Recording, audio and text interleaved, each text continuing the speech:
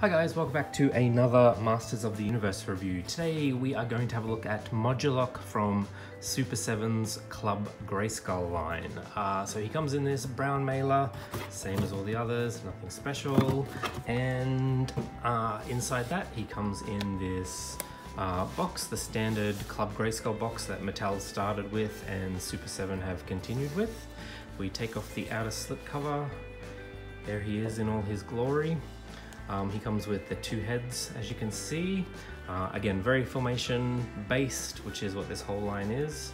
Uh, the back of the box has a cartoon drawing of him, and then he has a bio as well. So feel free to pause that and have a read.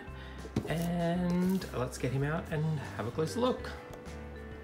And here we have Modulok out of his box. So as you can see, very Filmation inspired. Um, he looks pretty amazing. Like his joints are not removable, so you can't pull him apart and make different combinations of him the way that you can with the vintage or the classics Modulok. But um, he does have articulated feet backwards and forwards, uh, knees, um, uh, leg, hip, and his leg on the back. Uh, he has a, does he have a waist turn? Yes, and an ab crunch. He has ball jointed uh, shoulders, bicep cut, elbow um, backwards and forwards, and hands. His hands are removable, I think, yes. Yes, they are removable.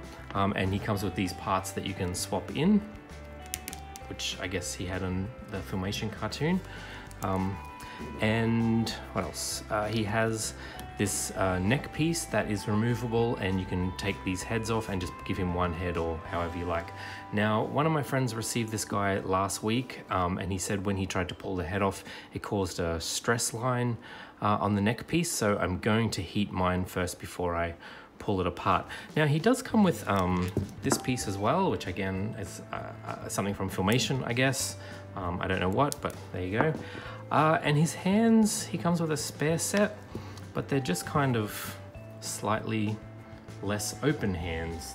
Um, I don't, they don't make a lot of sense to me right now. Maybe when I start posing him and photographing him, uh, they'll make more sense. But I mean, yeah, it's just kind of sort of really open hands versus not so open hands. It would have been better if we got a gripping hand, I would think. But um, there you go. Um, and here he is next to uh, Classics Modulok. So I've kind of put Classics Modulok together to look like him. Um, I really do prefer this guy. I think he looks better as one piece than all of these little sort of jointed pieces of this um, Classics Modulok. But again, this guy has the um, the play feature of being able to swap him out and make him into whatever you want him to be, whereas this guy is more just straight up filmation.